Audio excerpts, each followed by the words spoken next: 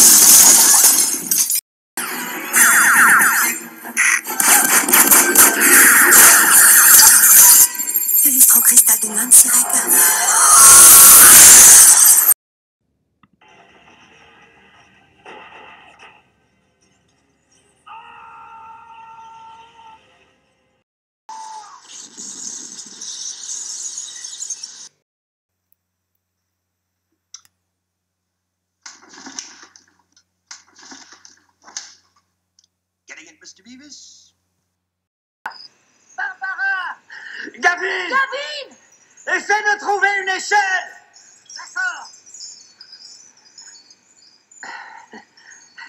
Je savais que ça finirait bien.